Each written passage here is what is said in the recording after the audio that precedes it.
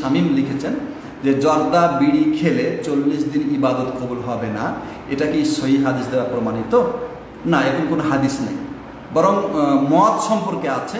মদ যেটা, কোনো মানুষ যদি মদ খায়, তাহলে তার চল্লিশ দিনের নামাজ কবুল হবে না। এখন,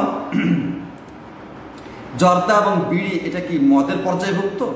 না, ওলামারা কেউ এটাকে মদের পর্যায়ভুক্ত বলেন নাই। যদিও এটাতে নেশা হয় কিন্তু সে নেশাটা মদের পর্যায়ভুক্ত নয়। এজন্যে এটা অন্য কারণে হারাম। অন্য কারণে হারাম এই জন্য এগুলির মধ্যে ক্ষতি আছে। আর আল্লাহ তালা কোরআন কিনে বলেছেন যে, ওয়ালা ওয়ালা তুলকো বি আইদিক ওয়ালা তাহলুকা। যে তোমরা নিজেরা নিজেদেরকে ধ্বংসের পথে ঠেলে দিও না। স- জর্দা, সিগারেট, বিড়ি এগুলি খেলে শরীরে ধ্বংস আছে, এমনকি মৃত্যু চলে আসে। এজন্য এটা হারাম। এজন্য এটা হারাম। কিন্তু এটা মদ খেলে যেরকম নেশা হয় মাদকতা আসে, এগুলিতে এরকম কোনো মাদকতা আসে, এরকম কোনো ডাক্তার বলে না, বা এরকম কোনো বিজ্ঞানী বলে না। এই জন্যে এটাকে মদের উপরে ক্যাশ করে চল্লিশ দিনে ইবাদত কবুল হবে, এরকম কথা বলা অতিরিক্ত বা অতিরঞ্জন বলে আমার কাছে মনে হয়। আল্লাহ তালা আলা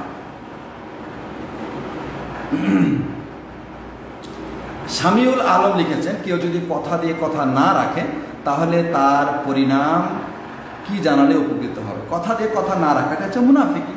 এটা হচ্ছে মুনাফিকি, এক প্রকার মুনাফিকের কাবিরা গুনা আল্লাহ নবী সাল্লাহ আলী আসাল্লাম বলেছেন যে মুনাফিকের লক্ষণ হচ্ছে তিনটি, অন্য রেওয়াত আছে চারটি। তার মধ্যে একটি হচ্ছে যে যখন সে কথা বলবে, মিথ্যা বলবে, আমানত রাখা হলে খেয়ানত করবে, ওয়াদা করলে ভঙ্গ করবে। আরেকটি হচ্ছে যখন কাজে ঝগড়া লাগে, তখন সে খারাপ কথা বলবে মানে ফাঁসেকি কথা বলবে। গালিগালাজ ব্যবহার করবে। এই চারটি আলামত যাদের ভিতরে আছে, তারা মুনাফিকির মধ্যে আছে এবং এগুলি কাবিরা গুণা অর্থাৎ ওয়াদা করে, ওয়াদা খেলাপ করাটা কাবিরা গুণা ঠিক আছে? আল্লাহ আলাম।